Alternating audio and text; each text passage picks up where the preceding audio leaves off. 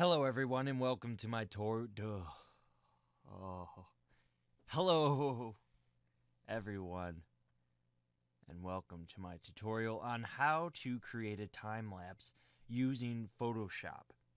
Now, with Photoshop, it, there's a very easy function, um, either in CS4 or CS5, possibly CS3, but with the extended editions. Now, with these extended editions, pretty much you go into open and then you will go to your folder of pictures. And I have several here. I'm just going to do dusk. You click on the first image and click image sequence. Press open. You set your frame rate.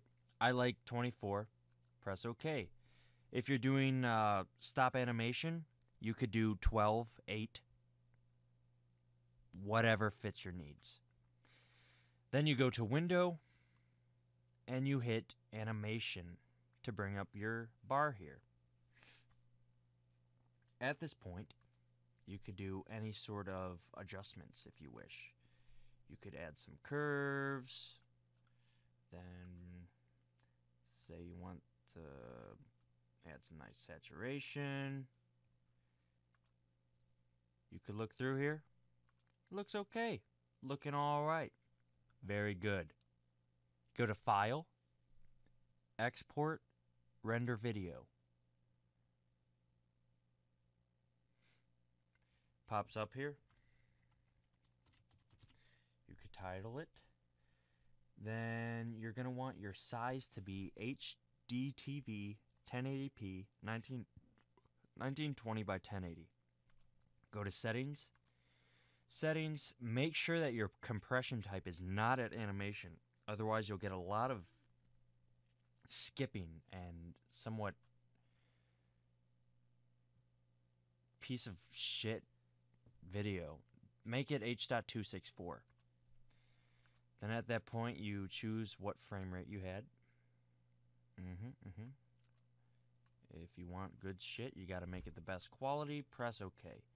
Then go over to size and make that 1920 by 1080.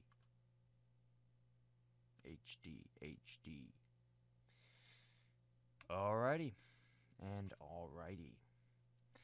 And then you will double check that, double check that, looks good. QuickTime export, all frames, sure, sure, 24, yeah, render.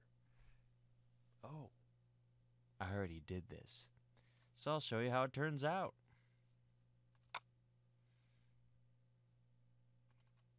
When you're finished, you have a masterpiece. And you literally, it took like, what, five minutes? Have a great day. Go out, enjoy all the time I just saved you by using Photoshop instead of going in individually, adjusting each frame in Avid or Final Cut, a video editor. This pretty much puts it all together for you at a reasonable frame rate. Looks good. You got like editing controls.